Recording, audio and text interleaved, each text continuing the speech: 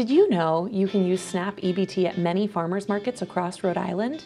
Not only that, Farm Fresh RI will double your money with bonus bucks. So how do bonus bucks work? When you arrive at the farmer's market, just head to the welcome table with your EBT card. A market staff member will swipe your card for any amount you choose from your available benefits. In exchange, you'll receive Fresh Bucks tokens in that amount to use for shopping directly with farmer's market vendors. You will also automatically receive the same amount in free bonus bucks, no questions asked. For every EBT dollar, you get an extra dollar in bonus bucks to buy fresh fruits and vegetables at the farmer's market. Think of it as a buy one, get one free for the freshest, most nutritious and delicious local produce. Say you want to spend $10 on farmer's market groceries with your EBT card. We'll swipe your card for $10 and give you $20 in tokens to spend at the market. It's as simple as that. In other words, if you receive SNAP benefits, you'll get more for your money at the farmer's market.